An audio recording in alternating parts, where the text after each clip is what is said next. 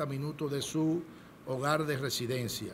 Asimismo, en este recién terminado año, pudimos examinar 75 mil sintomáticos respiratorios que trajo como consecuencia la detección de 3.900 casos nuevos de tuberculosis. Actualmente el 80% de los pacientes diagnosticados de tuberculosis se curan totalmente. Tenemos que incrementar una debilidad que tenemos y es el, tema de la adherencia. Un 15% de pacientes diagnosticados de tuberculosis pues se nos desaparecen.